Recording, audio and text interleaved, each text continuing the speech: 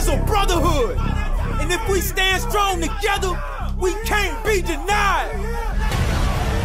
If one of us go down, we have another and another and another that's ready to fight. So let's hit this field and bang them, bang them, bang them. Somebody light me up.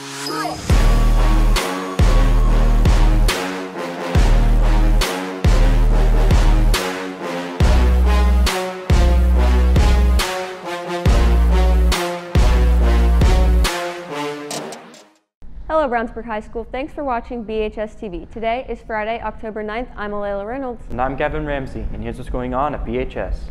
Students, as a reminder, your lanyards are to be properly worn around your neck with your ID card at all times while in Brownsburg High School. Please make sure to follow this expectation. Also, electronics, including phones, earbuds, and headphones, are not to be worn in the hallway. These items are allowed during lunch in the cafeteria only.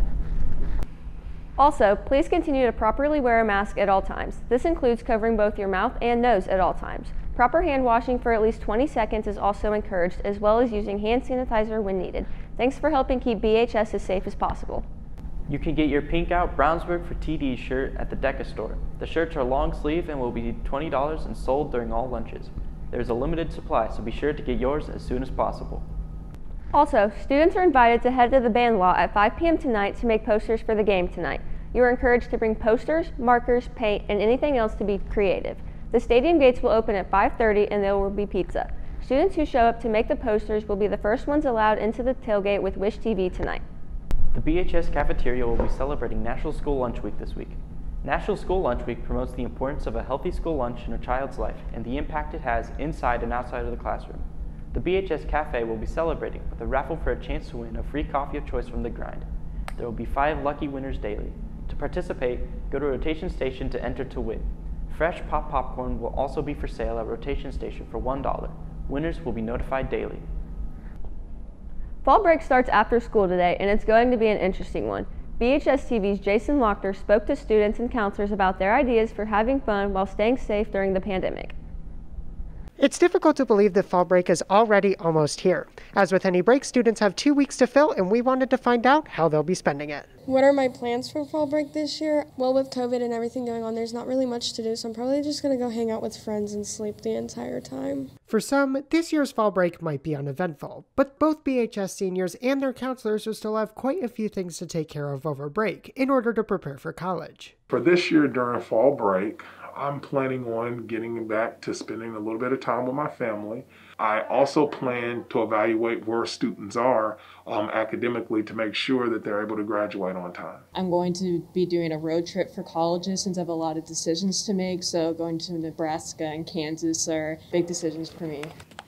The college application process is not over for most students, but Mrs. Martin recommends some things for seniors to take care of during break. What I highly recommend for our seniors to do over the fall break is to sit down and go through all of their college applications. For those taking the SAT or ACT this fall, Mrs. Martin also recommends checking their respective websites for testing dates and registration. And if you completed the tests and want to send scores to colleges, you must do so through your account. Fall break is a great time to file your FAFSA as well and complete the FAFSA checklist you received from Mrs. Martin. Check FAFSA.gov for more information. It may be an odd year for fall break, but there's still plenty to do, and we hope both students and staff enjoy their break, and we look forward to seeing you again very soon. Jason Lochner, BHS TV.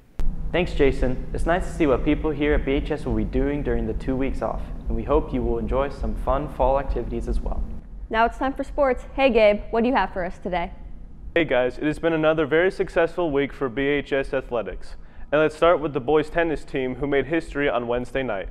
The guys hosted Zionsville and after a hard-fought battle ended up with a 3-2 victory. And for the first time ever, Brownsburg boys tennis is your IHSAA regional champion. Great job guys. All three singles competitors won to pull the Bulldogs to victory.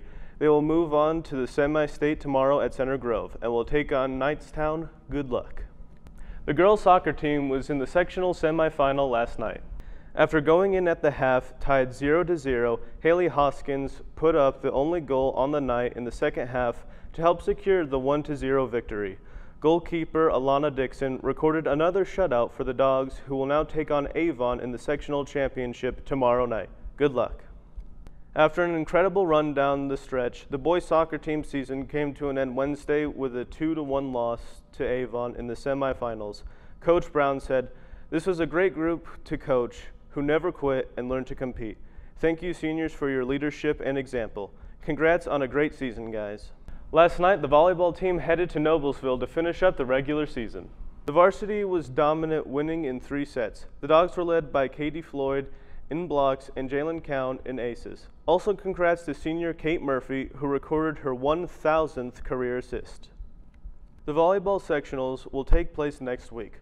All games will take place at Mooresville, and the Dogs drew the Pioneers in the third match next Tuesday. The second round will take place next Thursday with the championship set for next Saturday, October 17th. JV team came up short of the Millers, but were led by Abby Solenberger in kills and Peyton Hinkle in digs. They will head to the HSE JV Invitational tomorrow. Good luck. And the freshmen defeated the Millers 2 to 1.